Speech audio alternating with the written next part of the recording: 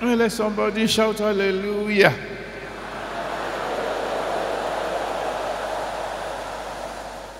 The God of Abraham, Isaac, and Jacob.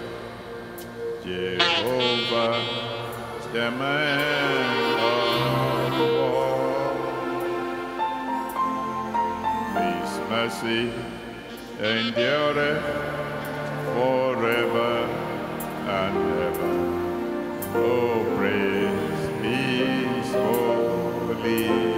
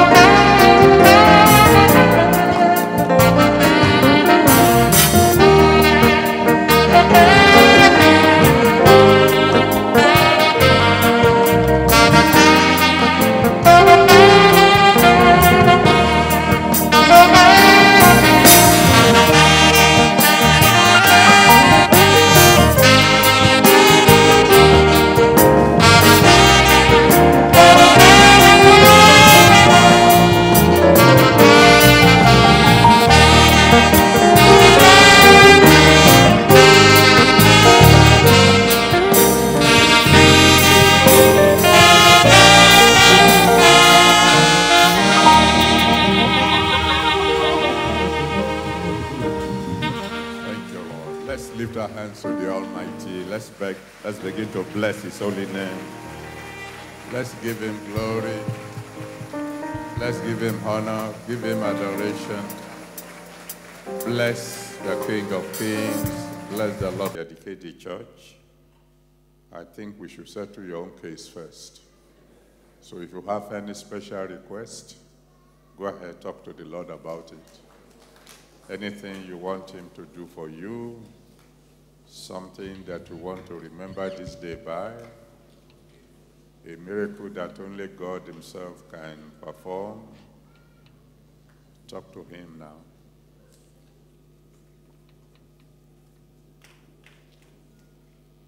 Thank you, Jesus.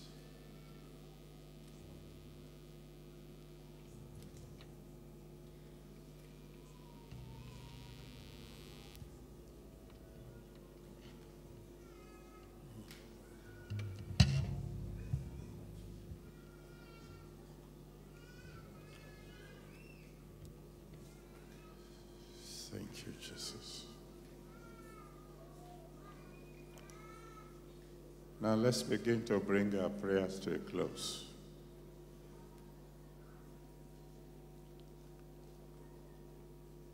In Jesus' mighty name we have prayed. We give you all the glory. We give you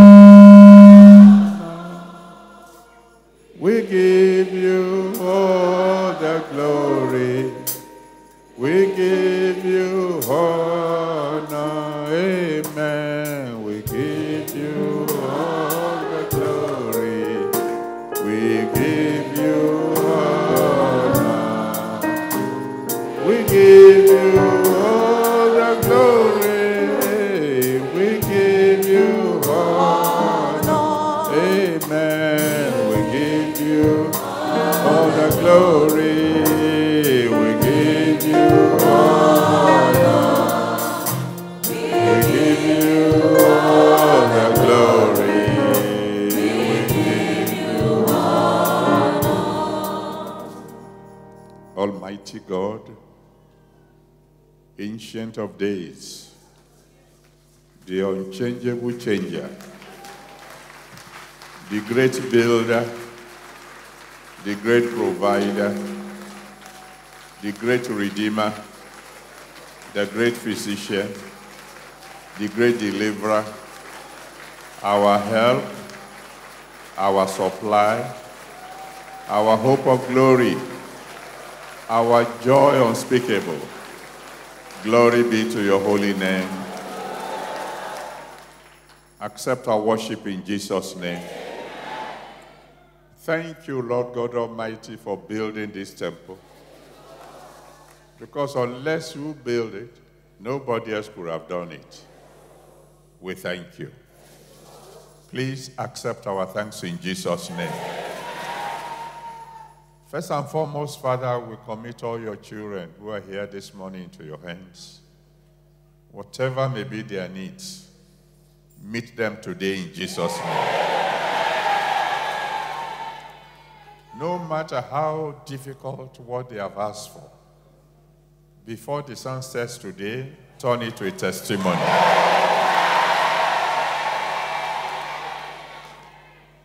As some people here, Lord God Almighty, it's a long time ago that they knew great joy last. Beginning from today, let their joy begin to overflow.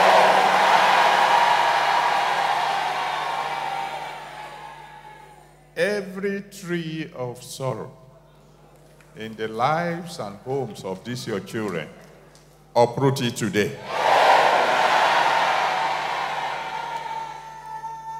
Every obstruction to their success, every obstruction to their progress, every obstruction to their breakthroughs, let your fire consume.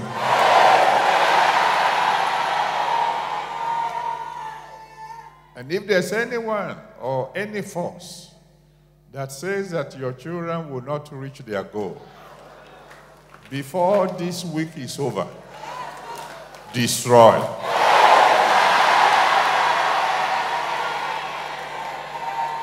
Everything that will make the joy of these your children full, Father, release to them today. And those who have used one way or the other to build this temple, Father, build them up. Build their families, build their businesses, build their joy, build their faith, and build them themselves. And Father, from today, like never before, let this place become a miracle center. Every sinner who will come here to worship, Father, save their souls. Any sick man who enters here, let him or her walk out completely free. Every prayer prayed here, Father, answer by fire. Father, beginning from today, out of this place, let rivers of healing water flow. From now on, here, let there be a revival. Let it be well with your children. And let them serve you to the end. Even as we dedicate this place to you in the name of the Father, and of the Son, and of the Holy Spirit. Amen. Let someone shout hallelujah.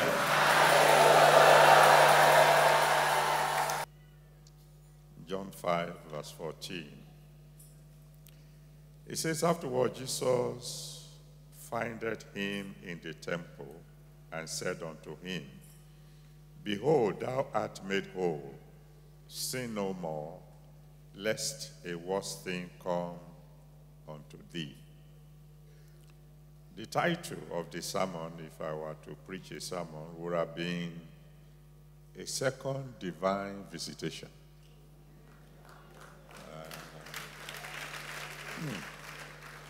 You know, I was here not too long ago, and uh, may, please let me congratulate you. This is beautiful.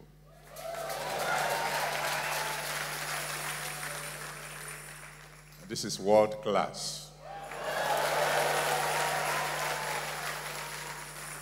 So, those of you who participated in the building, you've done something you could be proud of. This is beautiful. This is beautiful. Now, the text we read said, again, second time in a day, Jesus findeth a certain man in the temple. And then spoke to him and said, Well, you'll be made whole. Go sin no more so that you won't get into bigger trouble. You know the story of the man. If you read it from verse 1, there was a man by the pool of Bethesda where an angel comes once in a while, once a year, to stir the pool. And whenever he does that, the first man to jump in was made whole. And then Jesus saw a man there who had been sick for 38 years and went to him and said, Will you be made whole? The man said, Yes, but I have no help. And Jesus said, All right, let's forget the history. Get up, go home. And he got up and was made whole. So the man then went to the temple of God to go and say, Thank you to the Almighty. And then Jesus met him there, second time in a day, and said, Okay, we made you whole on credit. But from now on, sin no more so you don't get into bigger trouble. A second divine visitation is usually to make your blessings permanent. The man was already blessed, but now Jesus was saying to him, if you want that blessing to be permanent, sin no more. That second visitation was to tell him what to do to prevent a return to certain horrible things that had already happened in the life of the man. It was, number one, to tell him what to prevent a return to sickness. Exodus 15, verse 26, Exodus 15, verse 26 tells us what to do after we've received our healing so we will never be sick again. He said, If we will hearken diligently to the voice of the Lord your God, to observe and to do all he commands you, then you will never be sick again. It is possible to be healthy for the rest of your life. There are people who have asked, How would I die if I don't fall sick? You don't have to be sick to die. You can be healthy to the very last moment, just like I'm going to be. I've told you that the day I go, I will come to church. It's going to be a Sunday. I'll come to church on Sunday morning. I will sing, I will dance, have a wonderful time. I will go home, eat a very big bowl of pounded yam, and then go away. That, that's just the way it should be. And uh, while people could die by various means, I have no intention of dying in a road accident. I don't know about you. I don't have, and I have no intention of dying by accidental uh, discharge by the police. I want to live my full life, enjoy myself to the full, praise my God to the very last moment, and then go home. So the Lord told that man what to do. And the reason I know that's the way it's going to be with me is because I know the secret. All I have to do is to hearken diligently to the voice of the Lord my God, observe and do all he commands me. If I do that, he will fulfill his own aspect of the bargain. Number two, the second divine visitation is to tell you what to do so that you don't go back to failure. Because that man had failed several times at the pool of Bethesda. And Jesus told him, if you sin again, then you go back to your life of failure. You will remember that in Luke chapter 5, verse 1 to 11, Luke 5, verse 1 to 11, where Jesus came in contact with Peter, who had fished all night and caught nothing. Jesus told him, From now you will not be fishing for fish, you'll be fishing for men.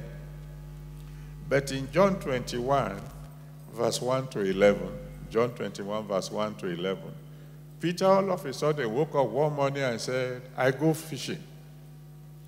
And the result of it was that again he fished and fished and fished and caught nothing. He returned to failure because he didn't listen to God.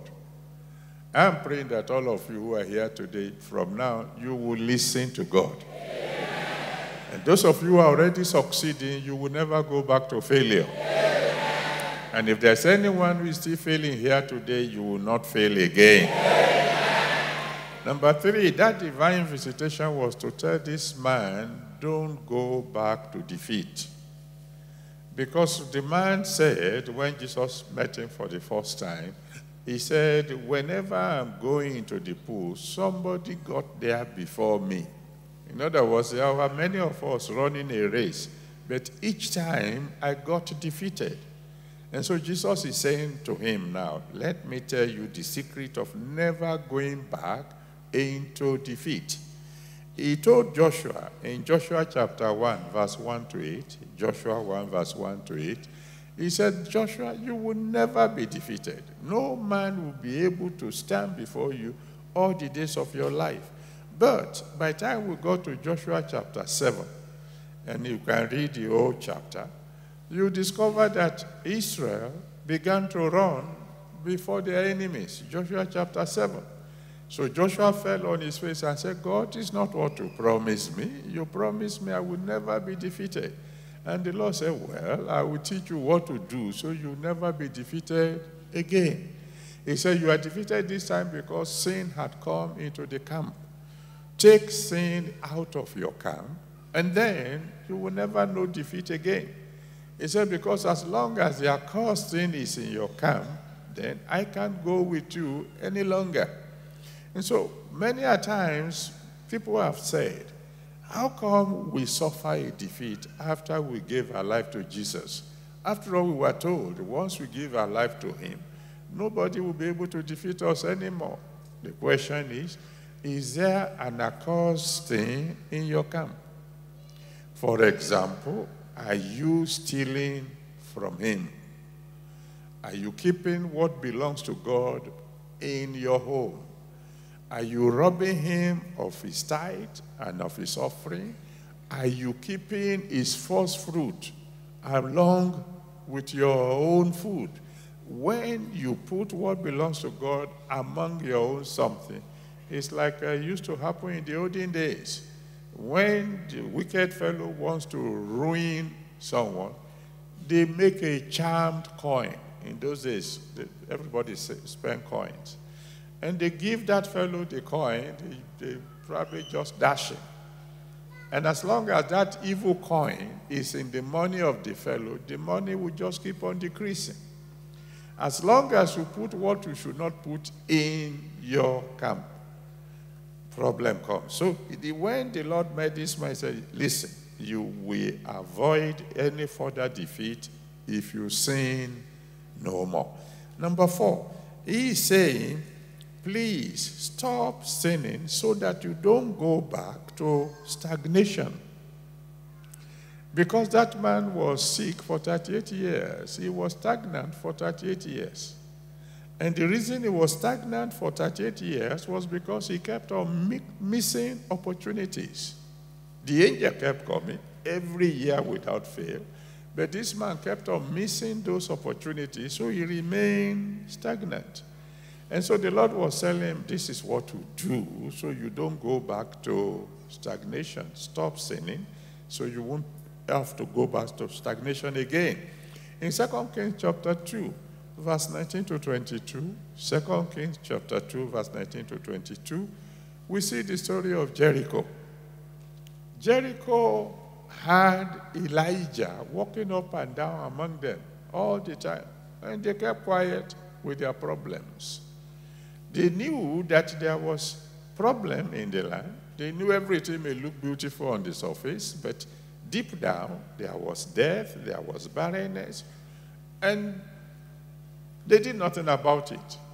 But when they saw Elijah go to heaven and they saw his mantle fall on Elisha, and Elisha now came, because Elisha was there before, following Elijah out. When he came on the second visitation, they grabbed the opportunity. I'm believing God for someone here today. Whatever opportunity you missed when we came last time, you will grab it today in Jesus' name. And so the Lord was telling this man, number five, sin no more so you don't go back into bondage. Because that man was in bondage. He could not leave the spot where he was for 38 years. Why? Because you never can tell when the angel will come back. So he stayed around the pool for 38 years as a man who is bound, a man who could not move forward or backward, just in one spot. The only time he ever moved was in making an attempt to get into the pool. He will fail, and then he will return back to the uh, square one. So it's like somebody going around in circles. But when the Lord met him the first time, he broke that yoke. But he now told him, if you sin again, you will go back into bondage. In Exodus 14, verse 21 to 28, Exodus 14, verse 21 to 28, you will notice that the first time that Moses lifted his hand against the Red Sea, the Red Sea parted, and the children of Israel were able to walk through into freedom. Then he raised his hand the second time, and the second time the sea closed up behind them. Now, many a times, all we saw in the sea coming together was in the drowning of the Egyptians. But it was more than that. The closing of the Red Sea after the children of Israel was to make it impossible for them to go back to Egypt. Because God knew them very well that sooner or later they will say, We want to go back. And you know, there are more than one occasions when they say, There, this Moses is dead. We don't know what became of him. Let's make another captain and go right back to Egypt. They didn't know that, of course, then they will have to deal with the Red Sea on their way back. And without Moses, the Red Sea is not going to part for anyone. As a matter of fact, the Red Sea had never parted since then. Now, I believe in God for someone here today, particularly those of you already free. You will not be bound again. And uh, number six, I told you I'm giving you an outline, but looks as if the outline is becoming a sermon. Uh, number six, the Lord was telling this man, don't go back into sin so you don't go back to sorrow. Because the man was a sad man before. Anyone will be if you have been sick for 38 years. If you have been a failure for 38 years, stagnant for 38 years, defeated for 38 years, in bondage for 38 years, you cannot be a happy man. But the first time the Lord came across this man, he settled the problem of his sorrow. Now he now said to him the second time, this is what you do so you don't go back to sorrow. In 2 Kings chapter 4, verse 8 to 17, 2 Kings 4, verse 8 to 17, the Shunammite woman was sad because, in spite of the fact that she was wealthy and had a, a lot of influence, she was sad because the only thing that would have made her joyful was denied her, and that was that she was barren. But the first time that Elisha spoke to her, that problem was solved because she became pregnant and had a son. But then the son grew up and then died. And the woman said, I will not return to sorrow. And I believe there are one or two people here today who are determined by the special grace of God, I am not going back to sorrow. If you are one of them, let me hear you say amen. That's why the woman said to Elisha, I'm not leaving you. You brought joy into my life. You have to come and restore that joy. That's the why the woman said, It doesn't matter, sir. I'm going, I'm holding on to you until you return. That woman, in desperate faith, said to Satan, The one that has made my joy full is the one you have swallowed. You have to vomit it. And uh, the Almighty God told Elisha, You go back with this woman, give her a second visitation, and see to it that her joy will now last forever. I believe that God more or less compelled me to come this morning to say to someone, beginning from now, you will never know sorrow again. But finally, number seven, the Almighty God was telling this man, sin no more, so that you don't go back to the wrong crowd. Because this man was among a multitude, a multitude of sick, blind, withered, lame. That's how the Bible describes them. A horrible congregation. And he says, if you sin again, you will go and join them. One more time.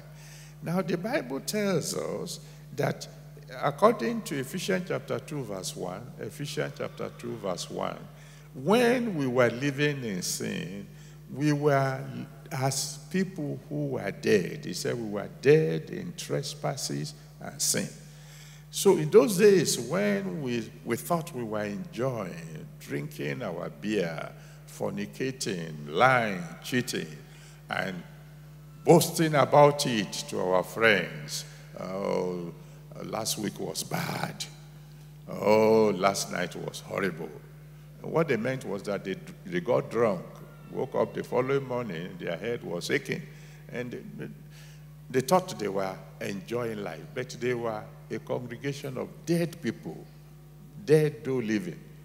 But then Jesus came, saved our soul, and now the Bible says in Proverbs chapter uh, 21, verse 16, Proverbs 21, verse 16, He said, If you wander from the way of righteousness, then you will now dwell in the congregation of the dead.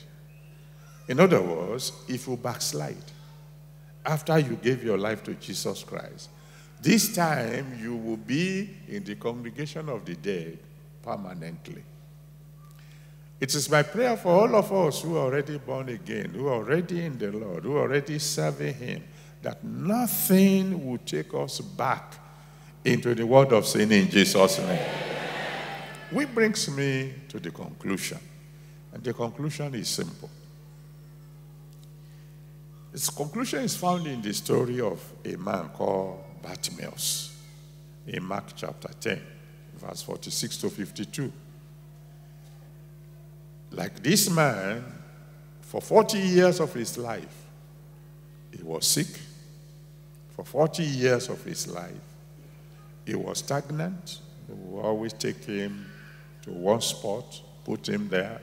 The sun will beat him, the rain will beat him. For 40 years of his life, he was a sad man. For 40 years of his life, he had known what it is to be a failure. Because from that story, you can be sure it wasn't every day he begged that he got anybody to pity him. Because the day he was crying to Jesus for help, the people were shouting him down. That shows you that those people are not very generous people. But then that man had a divine visitation. And in a single moment, all his problems were over. Now, what is it that Bartimaeus did? Bartimaeus made up his mind. I'm not even going to wait for a second visitation. I will make this visitation permanent. The Bible said he followed Jesus in the way. My advice to those of us who are already children of the living God, who had had divine visitations in the past, he had healed us, he had set us free, he had started prospering us. He had put an end to our failure. He had turned our defeat to victory. My advice to us is hold on to Him and serve Him to the end. Several years ago, when people asked me, uh, when people say, Oh, don't worry, it's uh, hot now. One day it will cool down. That's the way everybody started, always trying to reach heavens, but after some time they will slow down. I told them the reason I could not possibly slow down. I know where I'm coming from. I know what I was suffering before I met the Lord Jesus Christ. And I said, I'm not going back into that. So I don't know about you, but if you have suffered in the past, and now the Almighty God had picked you up out of the dunghill and is already promoting you, I'm sure you make up your mind, I too will never go back. Now, as for those of you who have never had a real encounter with Jesus Christ, let this be your day. Let this be the moment that you have been waiting for. Let this be the opportunity that you will never miss. So, if you are here and you have not surrendered your life to Jesus, I will encourage you that to come forward now and come and surrender your life to Jesus. Uh, I don't know how we're going to do it. Maybe you have enough room here. Okay, if you want to come from upstairs, from all the galleries, from downstairs, if you want to come, you come very quickly. I bet I don't have much time. So if you want to come, you have to hurry up because I will be leaving in the next one minute. So if you are not here within one minute, then you have missed this opportunity again. But I will count from one to seven to give you enough time to step forward. And I'm counting now. One.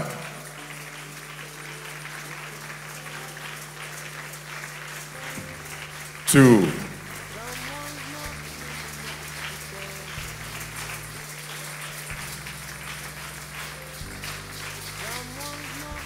Three.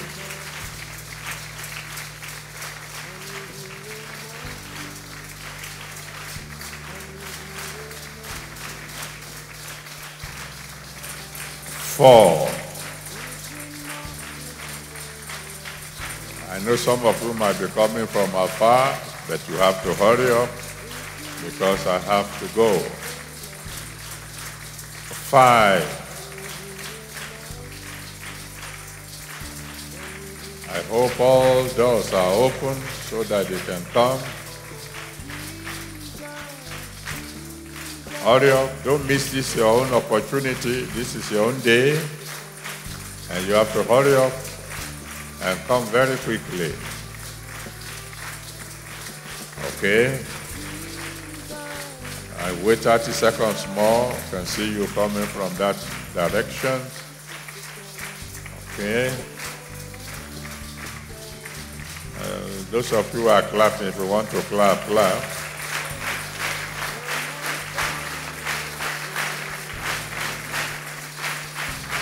Anyone else, if you want to, come quickly. Six.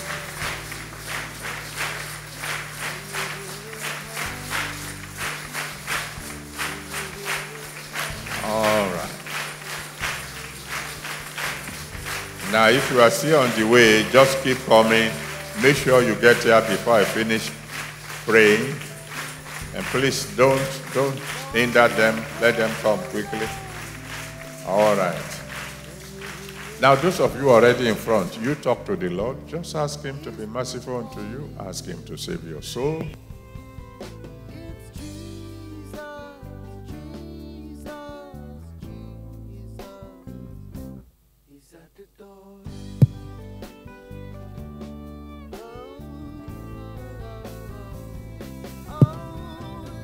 Ask Him to be merciful unto you. Ask Him to save your soul. Promise Him that from now on you will serve Him, that will do His will from this moment onward. And the rest of us, will you please stretch your hands towards these people and pray for them? Ask that the Almighty God, who saved your soul, will save their own souls also. That God will forgive all their sins and give them a brand new beginning. Please pray for them for just one minute. And if anyone else is still on the way, please hurry up because I'm about to pray for salvation now. Thank you, Father. Glory be to God.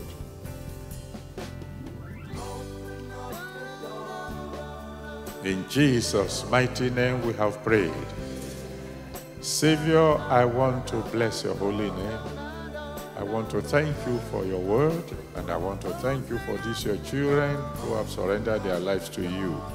Every one of them, Lord, please receive them in Jesus' name. Forgive them in Jesus' name. Wash them clean with your blood in Jesus' name. And even as you are saving their souls today, please write their names in the book of life and let them serve you till the end. Please don't let them go back into the world of sin and let them do your will all the days of their lives. In Jesus' mighty name, we have prayed. Amen. Praise the Lord. Now, I want to rejoice with those of you who have come forward.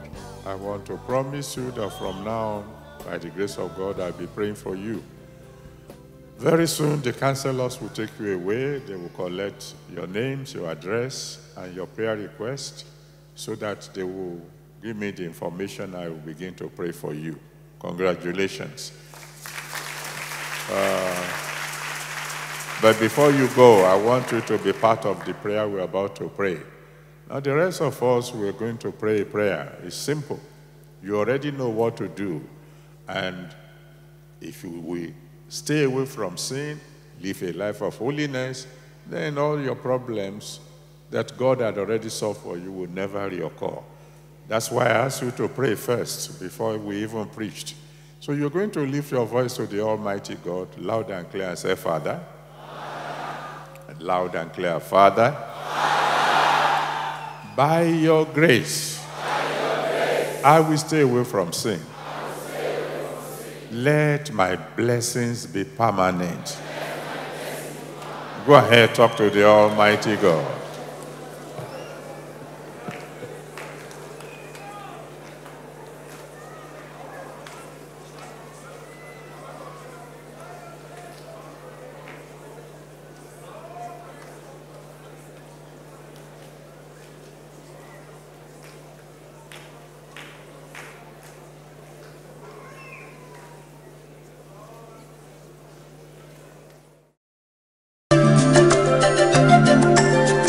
There is a redeemed Christian Church of God very close to you.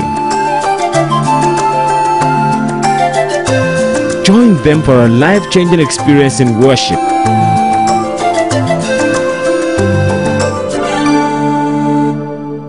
The Word of God enjoins us to study to show ourselves approved of the Lord. If you are one of the people who desire to indeed be approved of God in all your ways, and you desire to understand God's ways, then you need to take Christian literature serious. There is a large collection of inspirational books from Pastor E.A. Adeboye, the General Overseer of the Redeemed Christian Church of God, that you can pick and read from. Among the numerous titles are David, a man after God's heart, The Last Days, The Ultimate Financial Breakthrough, Divine Encounter, and many more. And just recently added are Time of Favor and The Sovereign Lord. Get yourself a copy. Get extra copies to bless the lives of people around you as well. The books are available at all CRM bookshops, all Christian bookshops, and bookstands in all RCCG province headquarters worldwide. Get yourself a copy of any of the books and be richly blessed. You're watching Redeemers Network Television.